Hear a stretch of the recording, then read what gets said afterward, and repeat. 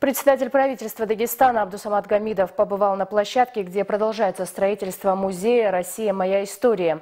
Осмотрев помещение музейного комплекса, а также прилегающую территорию, премьер-министр заявил, что объект сооружается в строгом соответствии с графиком.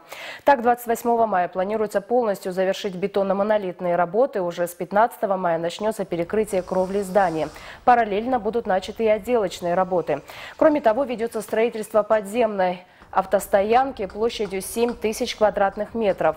Совместно с музеями республики, Госархивом Дагестана, а также Институтом истории, археологии и этнографии Дагестанского научного центра подготовлен 1241 экспонат.